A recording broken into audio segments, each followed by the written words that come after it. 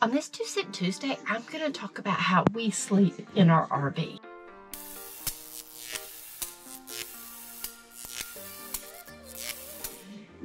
Now, when you're in your RV and usually you're in strange places and there's all kinds of noises going on outside, the two ways that I like to stay asleep.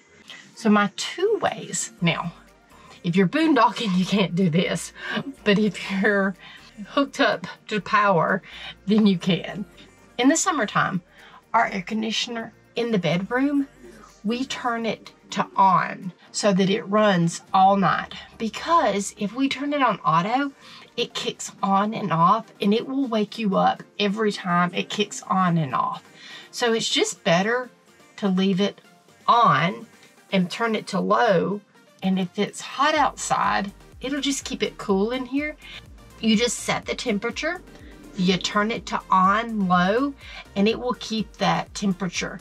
It will keep running, but turn the compressor on and off to keep it to that temperature. And then with the noise of the AC unit, you don't hear anything that goes on. And I can vouch for this because the dogs, if we don't do this, they'll hear everything outside and bark every time they hear it. But as long as we leave this on all night, nothing. They don't bark.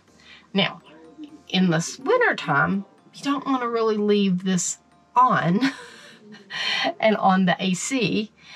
You could. I imagine you could. We just never have done it. But what I have is a Vornado fan that we turn on in the wintertime I like that fan and it keeps the heat circulating in here. And I usually turn it on like medium. So you have the sound of the fan going and it drowns out any other sound. You don't even know that anything's going on. Because here at the camper the other night, I was asleep and had that fan on and Bill said some people pulled up on some four-wheelers and he went out there and talked to them and I never even heard the four-wheeler drive up because the fan drowned it out. I know a lot of people do like sound machines and stuff like that, and I've bought sound machines, but they're, even though it says fan, to me, the sound machines that I've gotten, and I might have gotten the wrong ones, it just doesn't sound like a real fan. Might as well just get a fan and do it. Now, what we like about this Vornado one is in the wintertime, we'll turn it up towards the ceiling so it blows the heat around. But then, like, if it's just like right now, here at this camper, it's like at the 50s, 60s at night. We don't want the air conditioner on because it's not hot enough for that. So I just turn the fan on and I have it blow straight on me because I like the fan blowing on me anyway and it keeps it cool in here and we don't have to run the AC. And I do turn the fan on high during this situation, but I do turn it on medium when it's the heat's on.